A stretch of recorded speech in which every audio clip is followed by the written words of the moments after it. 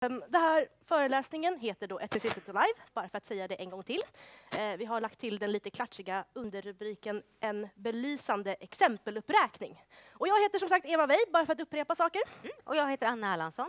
Och vi ska prata om etnicitetsproblematik för människor med utomeuropeiskt utseende i livesammanhang. Och vi tänkte börja med att prata lite formalia, vad vi ska prata och vad vi inte ska prata om och lite sånt där. Och den här föreläsningen kommer inte handla om klassstruktur och klassproblematik baserad på hudfärg och utomeuropeiskt utseende. Och vi kommer inte heller att tala om kulturella problem kring utseende som har med identifikation att göra. Så det kommer vi inte prata om. Ja. Inga sociokulturella aspekter alltså. Eh, inga förklaringar om varför det är så få blattar i Sverige som lajvar och ingenting om hur vi ska rekrytera fler. Eh, den här handlar bara om vi som redan är i kulturen och vilka problem vi skulle kunna stöta på. Eh, och jag tänkte bara så här lite begreppsmässigt. Jag kommer använda ordet blatte eh, för att det tar för lång tid att säga, nu ska vi se, individer med utomeuropeiskt utseende i livesammanhang. Eh, så det blir blatte, lajvare och blatte som gäller. Så. Ja. Och då med utomeuropeiskt utseende, eller blatte, så menar vi det som syns för ögat, som på Eva och som på mig. Och i den här föreläsningen, rent källhänvisningsvisigt, så har vi använt mycket från våra egna erfarenheter, en del från andras erfarenheter och en hel del från internet i form av händelser och diskussioner som har hänt. Och vi har mixat ihop allt det här i en salig blandning. Yes. Och sen ska vi prata lite om syftet med föreläsningen. Vad tänkte vi då? Eh, vi tänkte uppmärksamma, diskutera och besvara ett antal frågor om hur det är att vara blattelajvare idag. Eh, och förhoppningsvis ge lite svar på ja, vilka problem som uppstår, varför vi reagerar så skevt på saker som kanske inte alls verkar så farliga. Och sen lite tips på hur man ska bli en schysst medlajvare helt enkelt. Och som ni antagligen vet, eftersom ni ändå är här och dräller, så en av de viktiga fördelarna med att vara privilegierad är att man är omedveten om sina privilegier. Det har ni antagligen hört förut. Ehm, och lajvare är generellt väldigt medvetna. Vi pratar väldigt mycket genus, som jag har uppfattat det. Vi pratar väldigt mycket hbt-frågor och Q också. hbtq-frågor. Förlåt. Um, men däremot så pratas det inte så ofta om just etnicitetsproblematik i livesammanhang. Och det kan bero på att det finns inte så mycket blattelajvare i det här landet. Uh, det var någon som lite intelligent sa att hälften kommer ju stå här idag. Och så är det kanske, jag vet inte. Uh, tanken är i alla fall att vi vill prata lite om alltså, vilka fällor man kan ramla in i och hur lätt det är att glömma vad vi potentiellt skulle kunna ta illa upp om bara för att man liksom inte tänker på det helt enkelt. Och som vi sa innan nu, eh, frågor kommer komma under vissa fönster i den här föreläsningen. Eh, vi har två huvudrubriker, så i slutet av varje huvudrubrik samt en gång i slutet. Eh, och ska vi se, då har vi nog pratat klart om själva syftet. Allting klart? Bra, Jättebra! underbart, då drar vi igång. Då ska vi börja gå in på något rätt obehagligt. Då ska vi se. Och en liten fråga, vad tänker ni på när ni ser det här ordet? Ingen tänker någonting, fantastiskt. Nej. Då tycker jag vi enas om att det här ordet är inte riktigt något positivt ord. Och när man tänker på en rasist så tänker man kanske ofta på en person som är rätt hotfull, rätt våldsam och framförallt så är det, handlar det om främlingsfientliga individer som ofta avskyr blattar så till en milda grad att det faktiskt bara är en provokation att de ens finns i landet. Ja, eh, och vi har väl reagerat lite att, eh, eller upptäckt att folk reagerar ganska skevt. Eh, när man påtalar någonting som man upplever är rasistiskt eller kränkande. Um, istället för att vara konstruktiv och du vet, backa några steg och säga okej, jag fattar att du tycker att det här är jobbigt, okej, jag ska tänka på det till nästa gång. Så blir folk, jag brukar kalla det för aggressivt defensiva. Uh, folk liksom slår, slår från sig det, säger nej men alltså jag är ingen rasist, seriöst. Eller men du då som anklagar mig för att vara sverigedemokrat. Uh, och det är inte jättekonstruktivt skulle man kunna tänka sig. Nej, det är det inte. Och eh, som, som jag säger, det är rätt okonstruktivt att reagera så här när ja, en människa vill faktiskt belysa och lyfta fram någonting som den tycker är obehagligt. Och, för det handlar inte om att stämpla någon som rasist, det vill vi inte göra. Det handlar om att lyfta upp och belysa ett problem. Och det är en svår balansgång mellan att stämpla någon och lyfta upp ett problem. Och det är jättesvårt att balansera inom alla ämnen, men särskilt inom etnicitetsdiskussionen. Och igen, jag och Eva, vi är väldigt medvetna om att det här ämnet vi tar upp är känsligt. Och vi vill inte trampa någon på tårna. Men däremot vill vi, som vi tidigare har sagt, vi vill belysa det här problemet, vi vill lyfta upp det och ta upp några av de fallgropar man som lajvare kan hamna i när det gäller människor med utomeuropeiskt utseende. För vi vet att alla har vi blinda fläckar och vi hoppas kunna ge lite tips på hur man kan undvika dessa. Och det hoppas vi kunna ge er i den här föreläsningen. Yes, och rent uppbyggnadsmässigt så ligger den i två delar. Vi har döpt dem till utseendet och mentaliteten. Eh, och de överlappar ganska mycket och det kommer finnas grejer som vi kommer ta upp flera gånger. Eh, men generellt så kommer det handla om både problem som vi stöter på i verkliga världen och i synnerhet i live-Sverige. Och så kommer vi komma, avsluta varje del med förslag så man kan komma hur man ska lösa de här problemen. Allt klart och tydligt? Bra. Då går vi på första rubriken. Utseendet. Eller offerdomar baserat på utseende. Ja, var det någonting oklart? Ja? Ja? Okej, we will sleep a li speak a little bit slower. Ja, vi ska prata lite långsammare så att uh, vår kära vän från Danmark fattar vad vi säger. Mm. Det är uppfattat. Ja. Första rubriken, utseendet. och fördomar baserat på utseende. Eh, och eh, problemen som uppstår i Live Sverige stämmer ganska bra överens med problemet som uppstår i stora verkliga världen.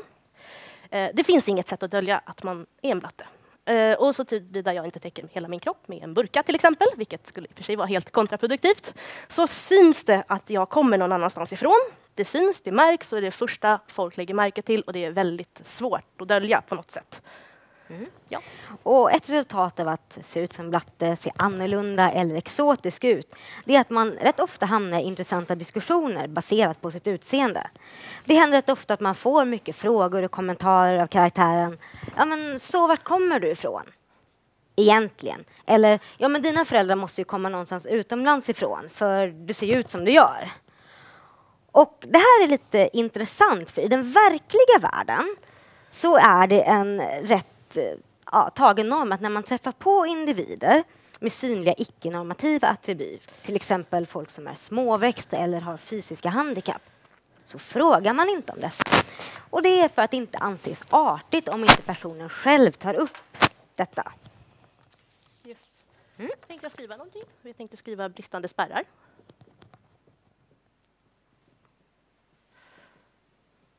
Så tänkte jag skriva för att mm. det här problemet ja, finns. Uh,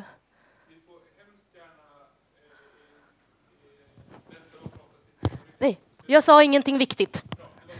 Ja, förstår det. Jag sa ingenting viktigt. Glöm det.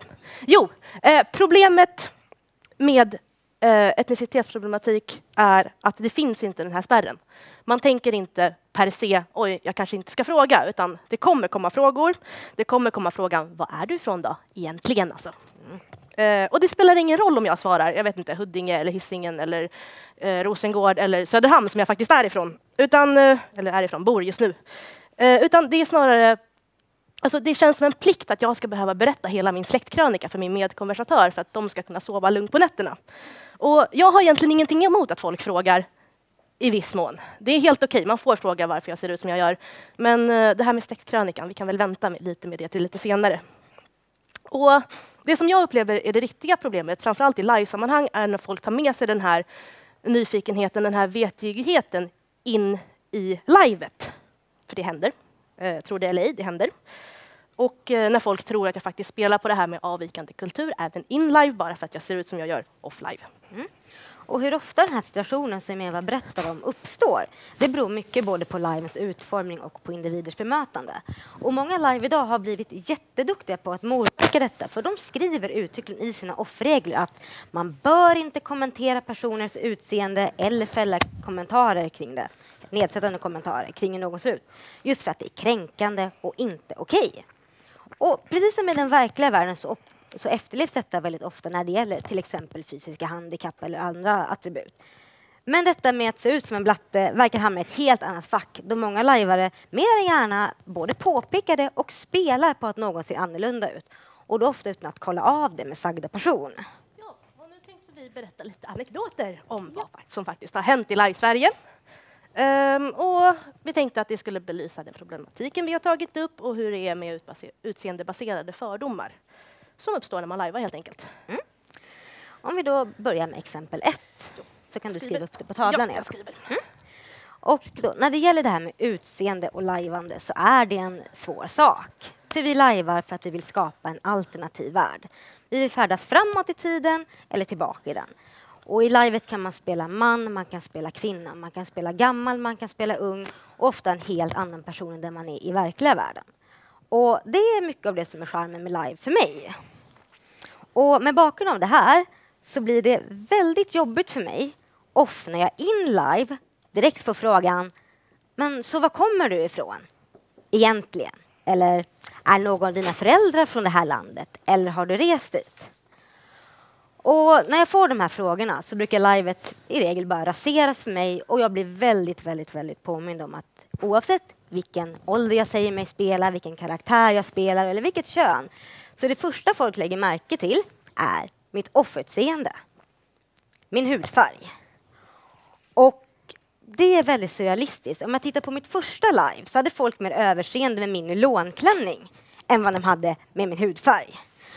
Och folk glömmer med andra ord bort att live-filtrera bort vissa attribut i min off-person och också väljer att spela aktivt på dessa in live.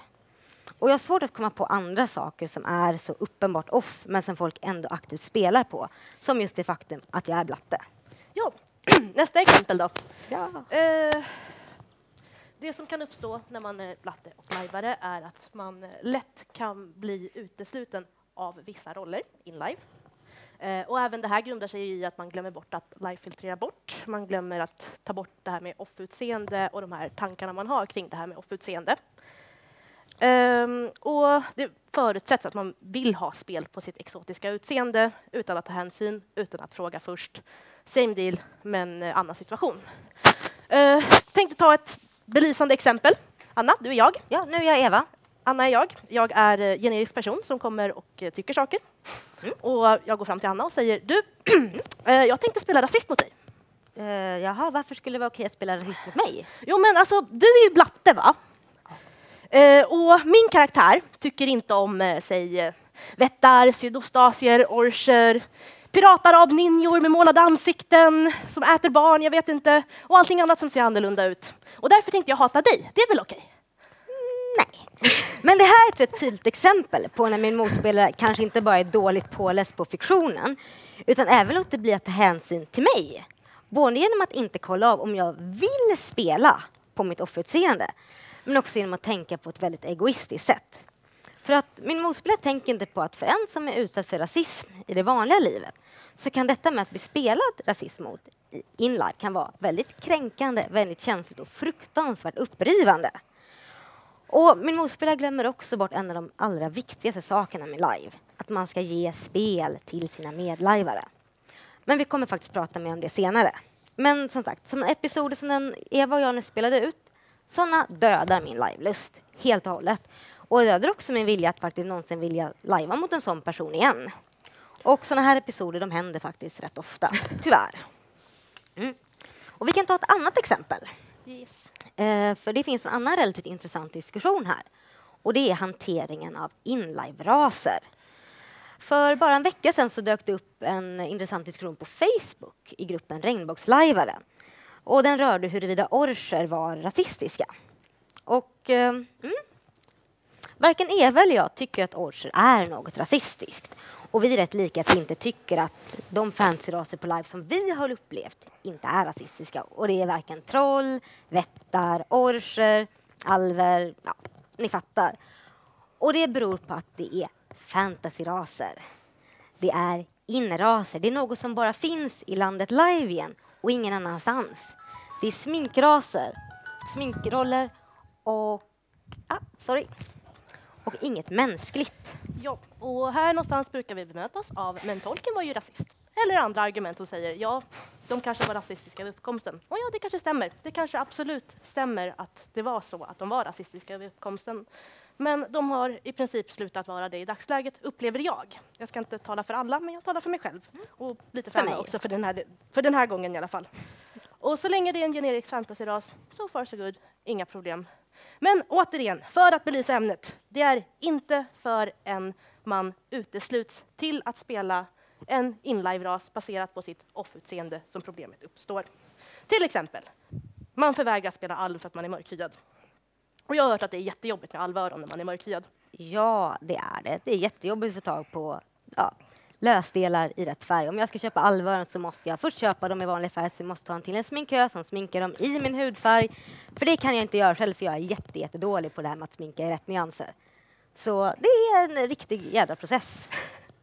Och det är ganska problematiskt nog, men det blir ju inte bättre av att folk helt enkelt tycker att du får inte spela för att du har ju inte den generiska färgen. Eh, och då pratar vi om uteslutning och jag har hört att det är dåligt. Då ska vi se. Och sen så råder det ganska mycket okunskap, skulle jag uppleva i alla fall, vad gäller det här med att utesluta folk baserat på deras offerutseende.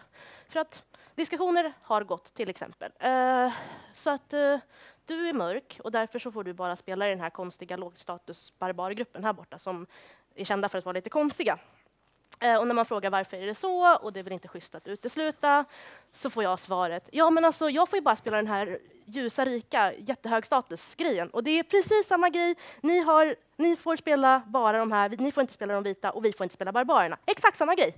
Eller? ja, alltså jag skulle inte säga att det är samma grej. Det skulle jag inte göra.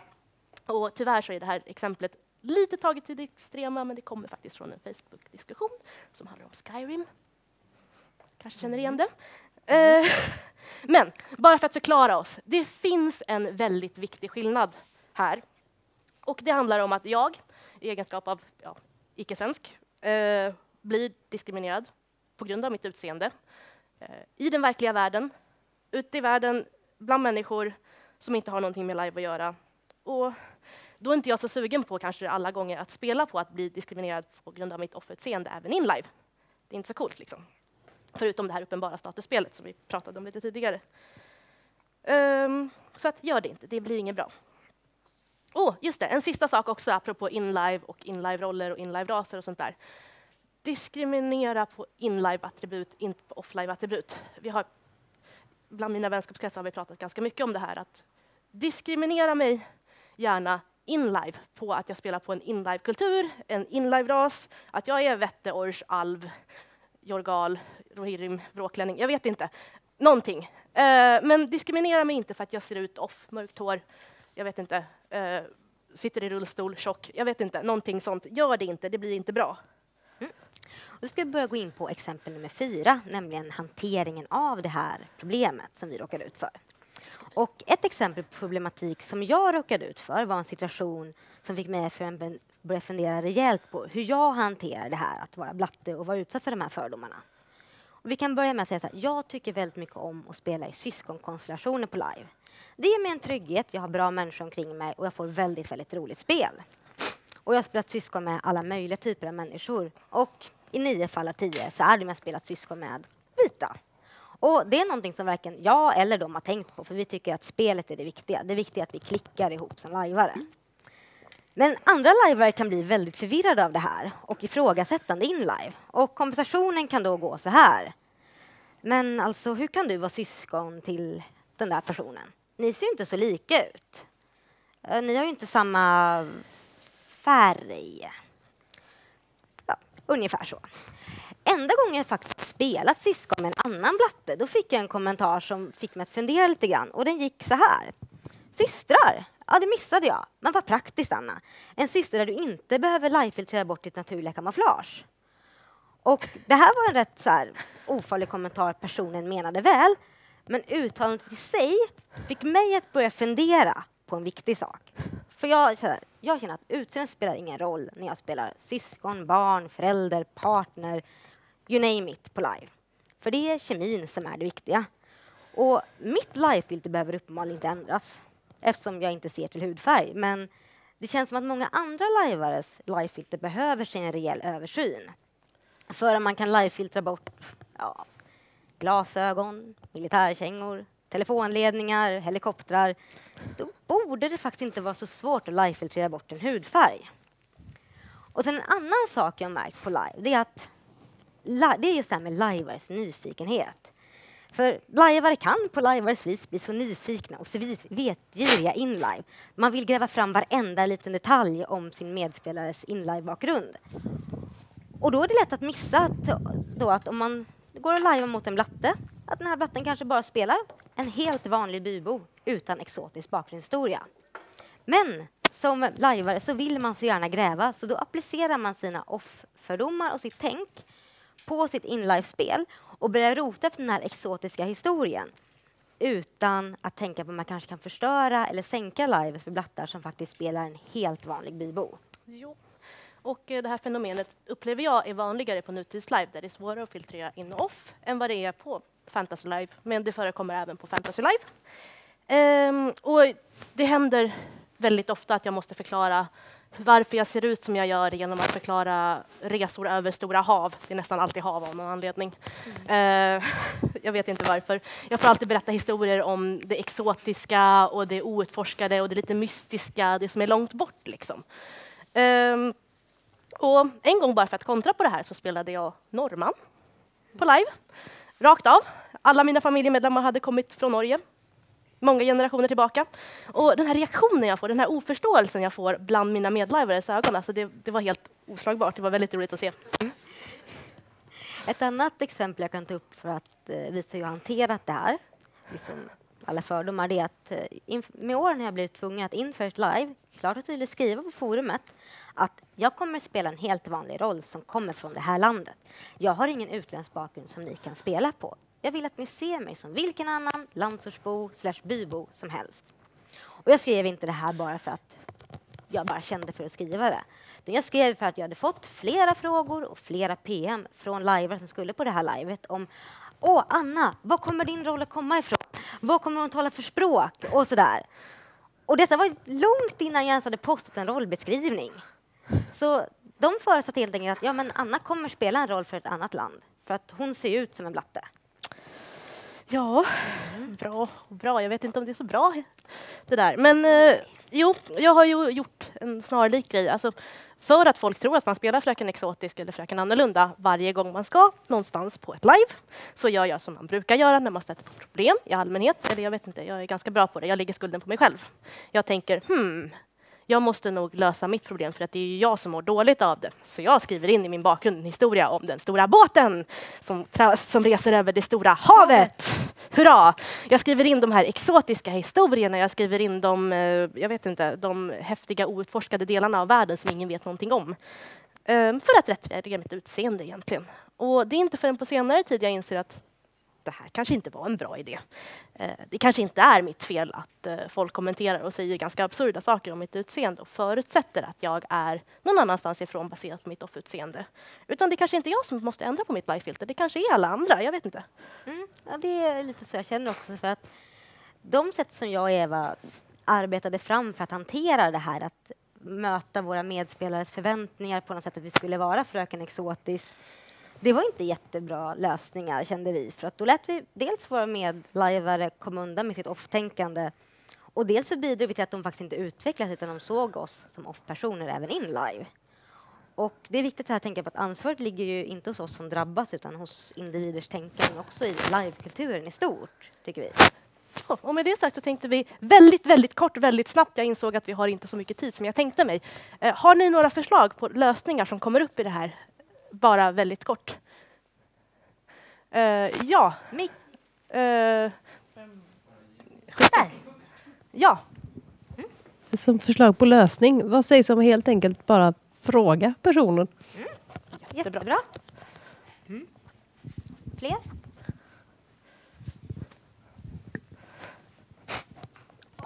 Väldigt tyst idag. Mm. Vi förutsatte att lajvarna skulle prata i tid och jag vet. Ja, ja Johanna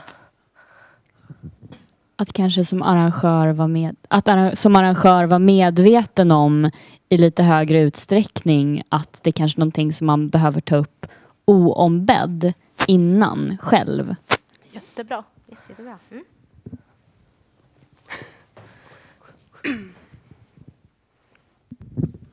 Eh, också att som arrangör ha en, eh, vad ska man säga, inte bara i hur man proaktivt skriver eh, regler och utskick men också hur man agerar eh, när man modererar diskussion och så vidare. Att ha en, en nolltolerans mot alla sunkigheter och liksom inte eh, låta några passera på grund av humor eller eh, whatever. Men att vara liksom tydlig med att det där är inte okej. Okay. Eh, gör inte så. Skitbra. Jättebra. Mm. Någonting mer? Jag tror att ni har tagit upp allting som vi tänkte ta upp om ni inte sa någonting. ja, Sara. Ja, nej men man kanske kan vara väldigt tydlig också just i när man beskriver saker att ja, men i det här landet kanske inte alla är eh, blonda och blåögda eller alltså sånt utan att i det här landet finns det faktiskt folk som ser ut på alla möjliga sätt. Folk som har eh, mörkt hår och mörk hud och allt möjligt liksom så att, eh, för att det finns väl en en viss risk att man tänker sig med att Sverige ser ut som Sverige gör så att, och, och, och livepopulationen ser ut som den gör tyvärr. Att bara ja men då, är ju, då ser ju folk ut som generiska liksom, eh, normativa svenskar. Att man är väldigt tydlig med att ja, men det ser faktiskt inte ut så. Så att bara för att någon inte ser ut så i det här, den här byn så är inte det något konstigt. Skitbra.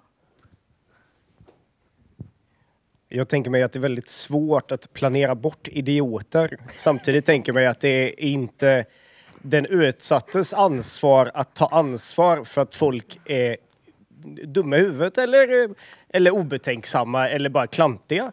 Däremot så är det ganska lätt att hänvisa till arrangörerna som kan ta sitt ansvar när en situation dyker upp. Om det är någon som ställer en knepig fråga till någon av er exempelvis. Och ni inte, då ska inte ni behöva ens ta den om ni inte känner för det. Utan skit du i det, har du problem med det, prata med arrangören. Så kommer, om det är en bra arrangör, ta den personen i örat och förklara varför det var en dålig fråga. Skitbra. Jättebra. Yes, jag tror att vi ska faktiskt pausa nu. Det blir inte längre än så här tyvärr för att vi hinner inte med. Mer Eh, frågor man får, nu. Nej, det kommer en frågestund i slutet och man får jättegärna prata med oss om det här efteråt också. Det här är jättekul ämne tycker vi. Då ska vi se. Hade vi någonting som var som inte hade tagits upp? Jag tror inte det. Nej. Nej, det hade vi inte. Gud vad bra ni är. Då ska vi se. Då ska vi börja med den andra titeln som heter Mentaliteten eller fördomarna beroende på hur man vill prata om det. Och eh, i den här rubriken så finns det två stycken begrepp som jag vill ta upp och förklara. Eh, antagligen som är de ganska bekanta för många av er eftersom ni är medvetna människor. Ehm, och det första är vithetsnormen. Eh, och, eh, vithetsnormen är i live-Sverige inte helt synligt. Ehm, det, handlar, det, det är ju för att en överväldigande majoritet är vita i live-Sverige. Ehm, och det handlar egentligen om att man i egenskap av ljus inte blir ifrågasatt baserat på sin hudfärg. Så ofta vad jag vet i alla fall. Eh, och man blir framförallt inte en representant för hela ens grupp. Må det vara mörkhyad eller eh, jag vet inte, asiat som brukar bli i mitt fall. Och eh, vad gäller eh, presumtionen här är att du är annorlunda per se. Genom att bara liksom se ut på ett visst sätt så är du annorlunda. Du är avvikande. Du är exotisk. Du vet inte vad som finns på ett julbord. Du kan inte rabbla alla Pippi Långstrumps mellannamn. I don't know. Och det är inte förrän du bevisar dig som en riktig svensk som folk kan släppa det och uh, inse att du är som folk är bäst. Anna, kan du rabbla alla Pippis mellannamn? Jag stod just och funderade på det. Jag tror jag glömt Pippilotta, Victoria, rullgardina, äh, Chris Mynta, Efraimsdotter Långstrump. Oh, du, är en, du är en riktig svensk, eller? Oh, eller nej, nej. Nej, parentes. Eh, I alla fall, du måste i alla fall faktiskt, du måste faktiskt bevisa dig och du måste visa att du är vanlig innan folk fattar att du är vanlig för att folk förutsätter att du är annorlunda. Eh, och det här tycker jag är jättespännande. Vad tycker du Anna? Eh, tack. I alla fall. Sen ska vi även prata om tolkningsföreträdet. Ehm, det handlar ofta om människor med mycket privilegier. Ehm, oftast folk som inte är, tillhör så mycket minoritetsgrupper. Oftast män, oftast högutbildade, in, ehm, vad vet jag, rika, eh, svenskar, vita och så vidare.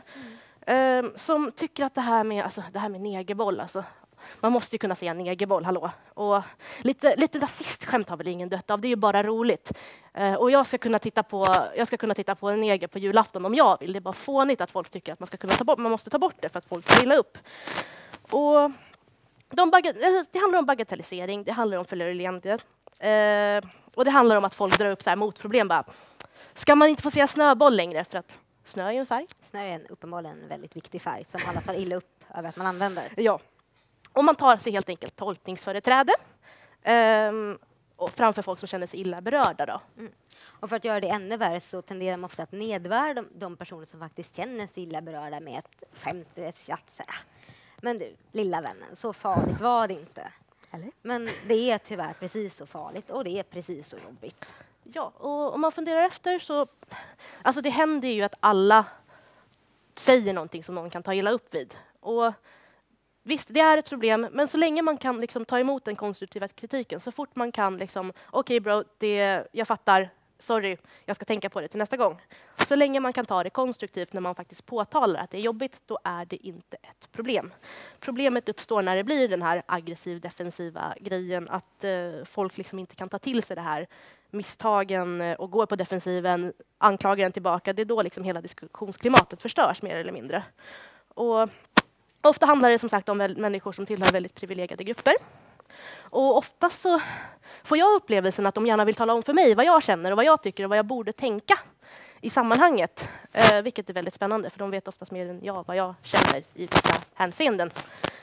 Tycker jag är coolt för att eh, de har aldrig suttit i min sits, kan inte veta. Eh, och de blir väldigt kränkta när man påtalar att de inte kan veta det.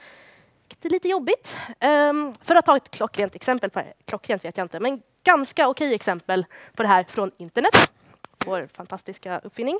Ehm, så var det en vecka sedan kanske? Ja, en vecka sedan. Ja, någon vecka sedan så uh, satt jag i ett diskussionsforum på Facebook igen eh, och eh, pratade om, vad var det, Orcher på live tror jag det var. Ja, jag tror det. Jag i någon grupp.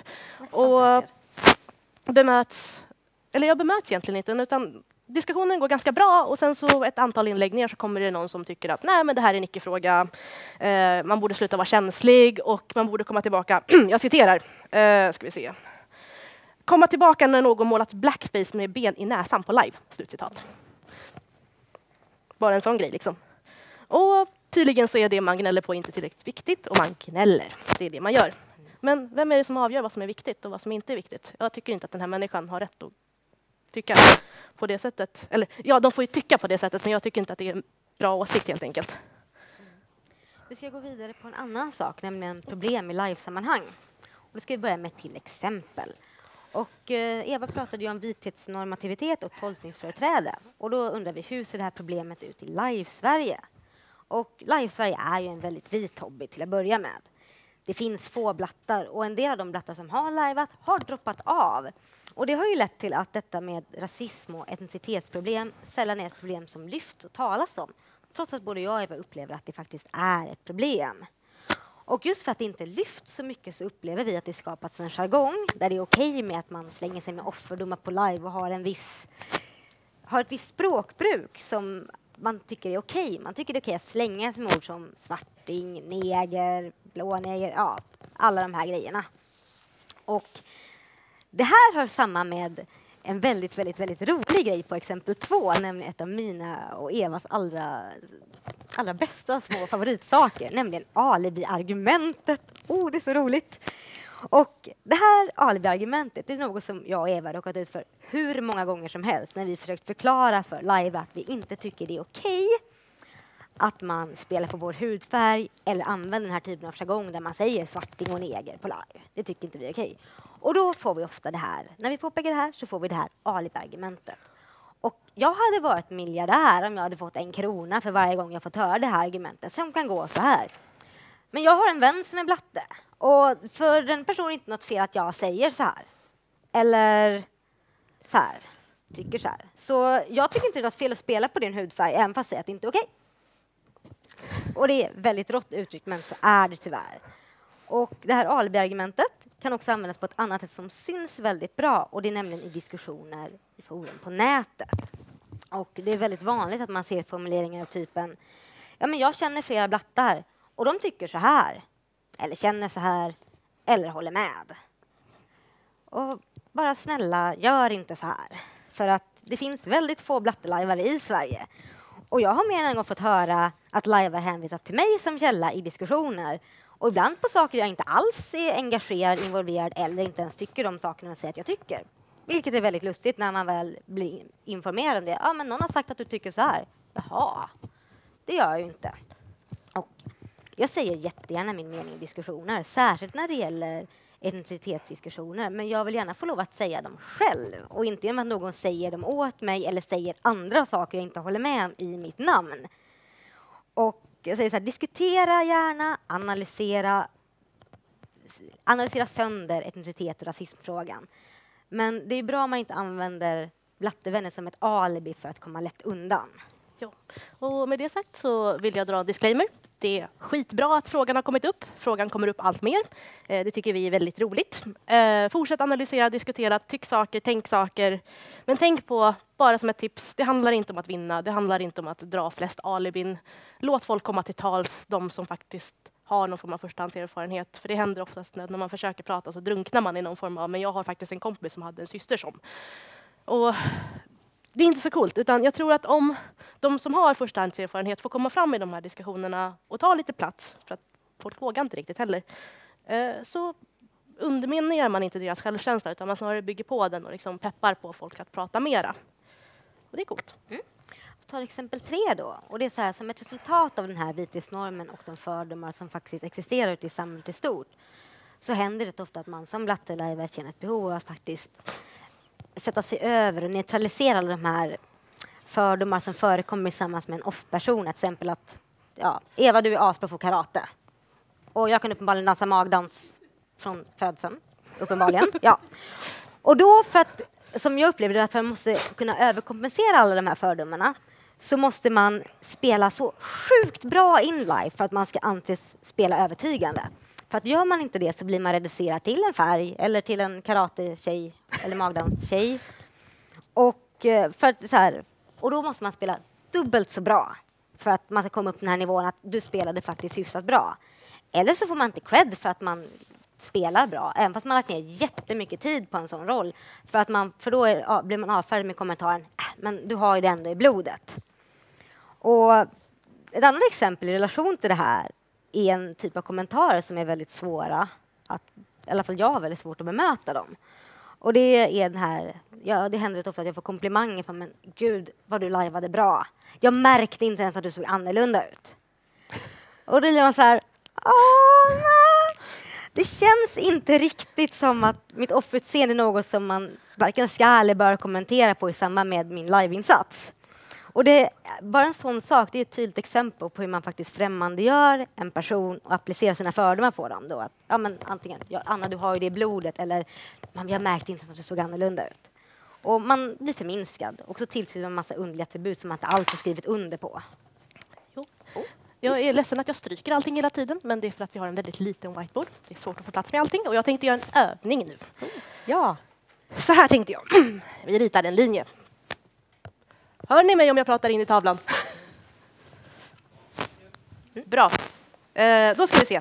På den här sidan har vi eh, Viking. Anna, vill du flytta? vad bra du gjorde rollen, vi, gjorde rollen som viking. Jag tänkte inte ens på att du var blatte.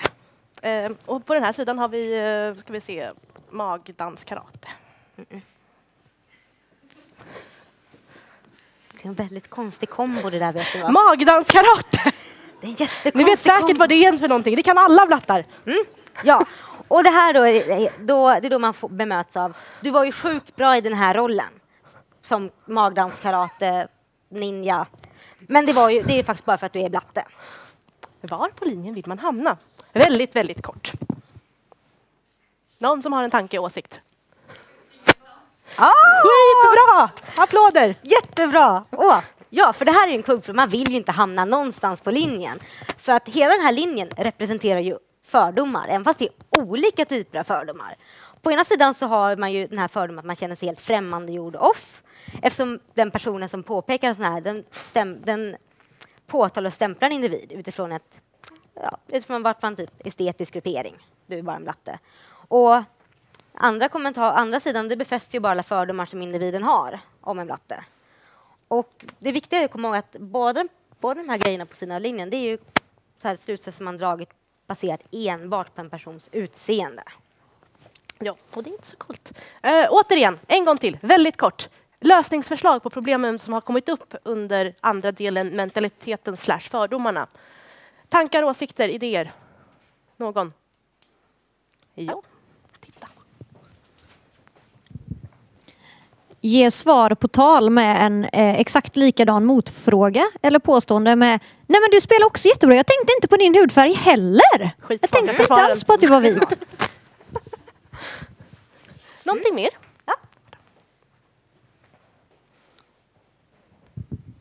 Det klassiska motalibit. Ja, men nu känner du en blatte som tycker att det inte är okej. Ja, mycket bra. Smart. Någon mer? Ja. Ja. Min klassiker. Dra åt helvete. Ja. ja. Ja, det blir bra. Kör på Vi det. hinner med. Men jag tänker också på vikten att vara en bra allierad. Att om man inte då är blatte, eh, men man hör någon säga sådana saker så kan man faktiskt steppa in. Det måste inte alltid vara den som blir utsatt som säger ifrån.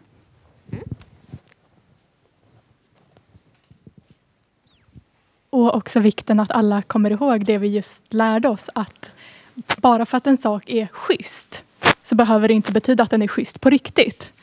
Typ komplimanger som Gud vad bra du lajvade kan också vara kränkande. Liksom att man kommer ihåg det så att när folk säger men jag var ju bara schysst så kan man säga emot dem. Även vi andra. Skitbra. Längst fram. Li. Li? Nej, jag tänker direkt på alibi-argumentet som man möter. att ah, men jag känner någon annan som är okej med det här. Eh, basic sak.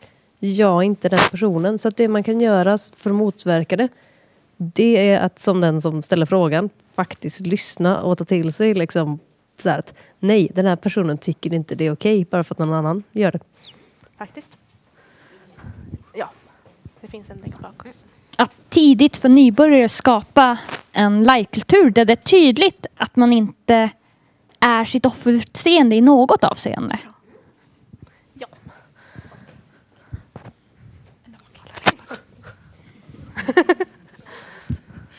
Ja, nej, jag tänkte bara säga också att jag tycker att det är väldigt bra det ni gör nu. Att ni faktiskt tar upp det här problemet och gör det till en...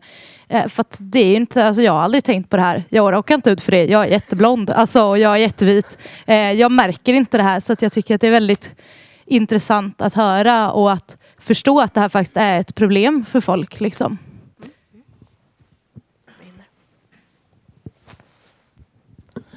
Jag tänker överlag på att vi borde våga prata mer om utseende. Att det har blivit stigmatiserat att man, liksom, man, får inte, man får inte spela på utseende, så vi tar inte diskussionen. Men bara för att min mustasch är mascara och du är svarthårig så kanske vi ändå liksom måste ta, ta debatten. Liksom. Absolut. Ja. Fantastiska svar. Jättebra svar. Faktiskt. Och eftersom vi spelar in så behöver jag inte ta anteckningar. Hur bra som helst. ja, då ska vi se. Har vi någonting som vi inte har pratat om? Eh, nej. Nej, det har vi inte. Gud vad bra ni är. Vi behöver inte ta upp Helt någonting. fantastiskt. Hur bra som helst. Bra. Vi Men- kommer dra över i fem minuter ungefär. Men, ja, eh, men vi ska börja några ord runda till. av nu. Och då pekar på en väldigt stor etisk aspekt i det här. Att just när, att I den verkliga världen som finns där ute så är det inte rimligt att man går runt och dömer en person helt baserat på utseende. Så tänk på liksom att lajvandet är ju en verklighetsflykt. Men att man ska inte döma någon där heller. Döma en blatte efter hennes utseende är inte helt okej. Nej. Och vi, egentligen så vill vi bara vi hoppas att vi har med den här föreläsningen öppnat ögonen för er, ökat medvetenheten och att ni har blivit bättre ja, allierade eller medlajvare till en blattelajvare. Med det sagt så behöver man inte behandla mig med silkeshandsken. Jag är inte gjord av glas. Inte mig heller. Eh, det är helt okej att fråga var jag kommer ifrån. Eh, men var lyhörd, var finkänslig. Jag kanske inte är på topp alla dagar och har lust att svara på hela min släktkrönika så att säga. Och använd mig framförallt inte som slagträ eller som alibi. Nej. Eh, ja, det är få saker som gör mig så trött på när, när folk säger men Eva var ju faktiskt ganska bra på det här. Eh, men Eva var ju faktiskt och så vidare och så vidare.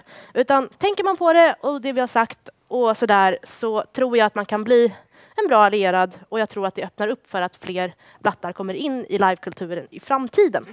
Och då ska vi se. Vi tänkte avsluta med eh, fyra tips om hur du blir en bra allierad. Ja, nummer ett. Ta allihopa. Var lyhörd. Utgå från att personen är som folk är mest och bemöt vederbörande därefter. Ska jag ta de andra också? Ja, ta de andra också. Nummer två. Skilj på in och off. Ta inte med dina off-fördomar in live och diskriminera in-karaktären och inte off-karaktären. Mm. Se oss som individer, inte som representanter för en grupp. Och som Eva säger, använd oss inte som alibi. Strängt förbjudet. Och nummer fyra, var medveten. Belys problemet och upplys dina vänner om faktiskt när de gör dumma saker och snedsteg. Och förklara varför det här är en dum grej. Så, då var vi klara. Någon som har några frågor? Nu är ordet fritt om man vill. Allting är glasklart. Gud vad bra. Hur bra som helst. Då tackar vi för oss. Tack så mycket för oss.